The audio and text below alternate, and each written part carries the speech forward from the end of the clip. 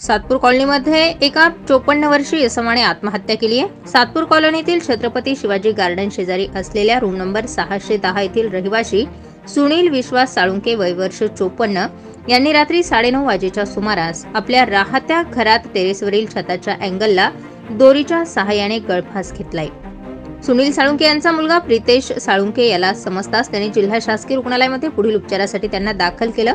मात्र डॉक्टर जाधव यांनी तपासून मृत घोषित केलं. पुढील तपास सातपूर पोलीस ठाण्याचे पोलीस हवालदार मुसळी करीत आहेत. मात्र ही आत्महत्या चोपन्नाव्या वर्षी कुठल्या कारणावरून केली हे मात्र अद्यापही स्पष्ट झालेलं नाही. या घटनेचा तपास आता सातपूर पोलिसांकडून सुरू करण्यात आलाय. सातपूर कॉलनीतील छत्रपती शिवाजी गार्डन शेजारी असलेले सुनील साळुंके यांनी आपल्या राहत्या घरातील टेरेसवर छताच्या अँगलला दोरीच्या सहाय्याने गळफास घेतलाय. स्टार ट्वेंटी फोर फास्ट न्यूजसाठी सिद्धार्थ लोखंडे नाशिक.